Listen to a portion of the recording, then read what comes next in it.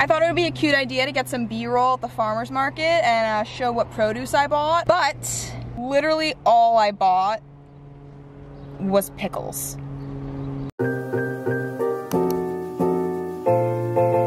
Guys, this is Kelsey from the future. Uh, I just wanted to insert this little clip of me not wearing any makeup or doing my hair to quickly touch on the 1k giveaway. Remember in my last video when I said if I don't reach 1,000 subscribers by the time this video comes out that I'm just gonna feel like a complete idiot, go down into a deeper, deeper hole of self-pity and, and self-hatred and but that's okay because we're still going to do the giveaway. However, the giveaway is not going to officially commence until I actually hit 1,000 subscribers. So in order to to know when the giveaway is going to officially start, you must be following me on Instagram. If you want to join the giveaway, you need to be following me on Instagram regardless because I will not be doing the giveaway via YouTube. I, I don't really know how or if you could even do that. So it's going to be on my Instagram. As soon as I hit 1,000 subscribers, I'm going to post a photo on Instagram. You must like that photo and then tag one person in the comments. That's literally it. It's it's it's very simple. And if you want to be notified when I post to Instagram, you can actually go to my page. You can click the little bell button at the top right hand corner of the screen and you can turn on notifications for posts so you will get notified whenever I make a post which I mean I don't really post that often. I post maybe like once a week so probably the next like post or two will be the giveaway post. I hope I'm explaining all of this well. I just I'm not very good at explaining things in general. And I will be announcing the winner of the giveaway exactly one week after posting that photo. So one week after I hit 1,000 subscribers I will be announcing the winner on my Instagram and then probably on my YouTube YouTube somewhere in the next video. The giveaway is not going to be anything crazy because I am poor, but it is going to be just a little goodie box from me with a $10 Starbucks gift card, maybe some vegan snacks and treats, and then, you know, a couple other little surprise goodies that I'll throw in there for you. It's just like a little thank you for all your support and all the people that have been following me for this 1000 journey. Um, yeah, that's that's really all I have to say about that. Now, let's get into today's video, which I, I'm going to preface with apologizing. This is a very, like, not great video, and I was planning on including recipes in here, but I have just gotten, like, super busy this past week, and I have not had any time, so I apologize if this is a, a poor, sad excuse for a weekly video, and it doesn't really fill you up with any knowledge or entertainment, or I don't have enough jokes. I hope you enjoyed this video, and hopefully next week I will have something a little bit more exciting for you. Um, the bad news is that this week's video is kind of shitty, but the good news is it's because I have some way more interesting content coming your way that's just gonna take me a little bit longer to create and film and post and I really want to keep up with my weekly schedule, but it's super hard. It's super hard when you have like a lot of other things to do. And um, that's it. And and roll the film. Hello there and congrats on surviving seasonal affective disorder. If you're new to my channel, my name is Kelsey. I am a vegan and professional interior designer and a person who does not know how to put self-tanner on themselves. I was editing my last video and I realized how pasty white I am and it was it was eye-opening actually. So I decided to take it upon myself and do some self-tanner. I have done self-tanner before, but I'm using a new product now that I am now thinking is not a great product. I also thought it was a good idea to apply it with my hands, which is like the number one rule of self-tanning. Please do not comment saying that you need to apply self-tanner with a mitt because I do know that. I do not have a mitt and I thought I would be fine and it's been two days and I just look like I'm wearing orange gloves.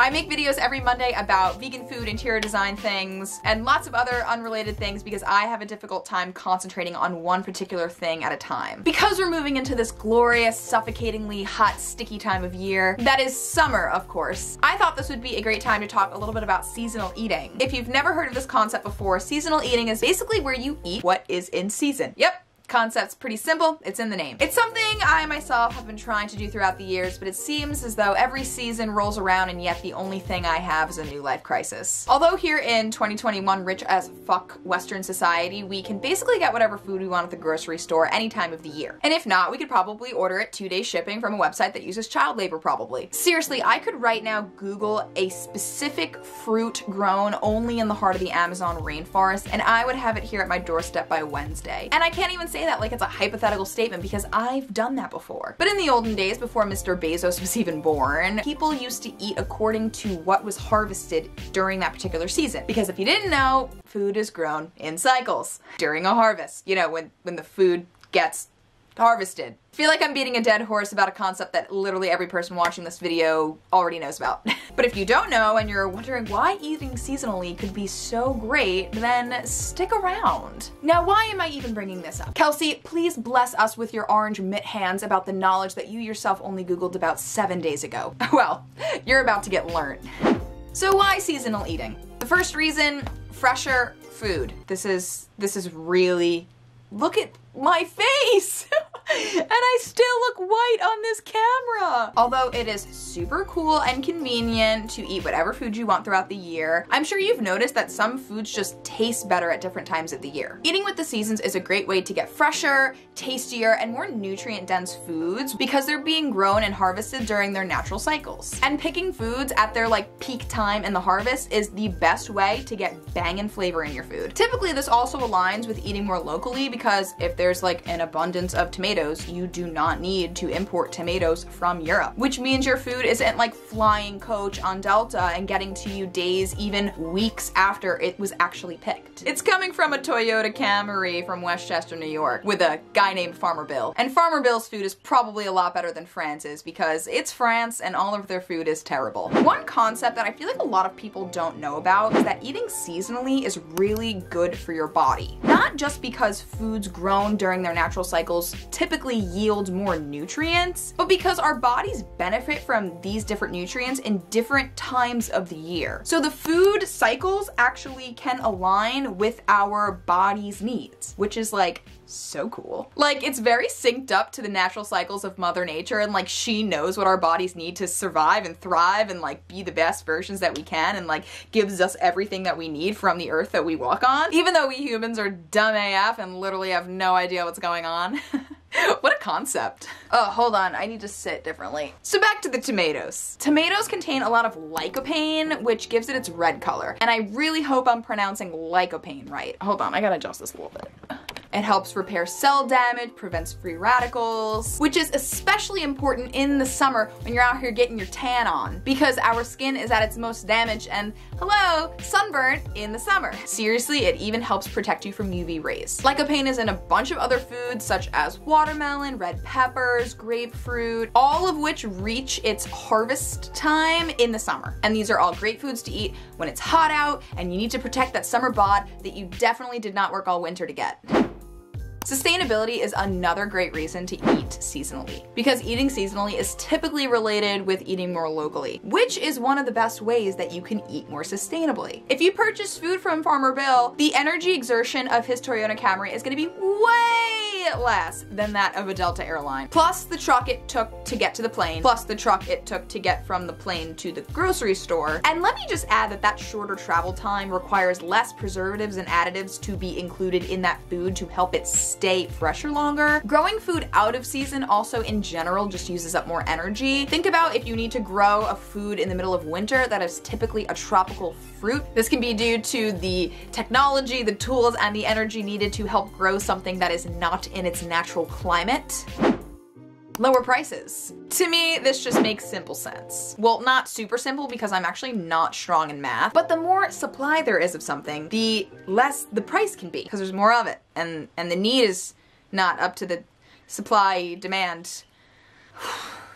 Have you noticed that strawberries are significantly more expensive in some months than others? That's because it's really hard to grow strawberries off season, which also means smaller harvest, more expensive strawberries, and they're not as good. All that travel time and energy that I won't shut up about, yup, that all costs money too, and it's factored into the price you're paying. There is, of course, exceptions to this. Farmers markets tend to be higher priced items because they're small businesses, they don't have as much of a harvest to sell, um, and you can probably get something super cheap at a stop and shop any time of the year. But even at stop and shop, you can see that there's going to be an abundance of certain foods at certain times of the year with the prices marked down because they just have so much that they need need to sell. And lastly, mindfulness. When you decide to eat seasonally, you're kind of forced to be a little bit more mindful about how you're eating and what you're eating. Your food shopping, your meal prepping, because now you can't just be a Whole Food zombie and pick up whatever you see on the counter and think, yeah, I'm gonna I'm gonna eat that today because it's seven dollars and I don't need it, but it seems really cool and the packaging is you actually have to use your brain. For me, it keeps me creative in the kitchen. If I have less ingredients to work with, it kind of forces me to think up new recipes and think up new ideas and try and combine two different foods that I didn't think I could make a meal out of. For example, if I have a crap ton of tomatoes, why do I keep going back to tomatoes? There's literally a bazillion kinds of vegetables in the world and I can literally apparently only think of tomatoes. But if zucchini is not in season, so I can't make that pasta dish that I always make, that I like to make, we gotta try something different. What other kinds of versions of this tomato thing pasta that I can try make? Here's a list of foods that are currently in season at this time of year.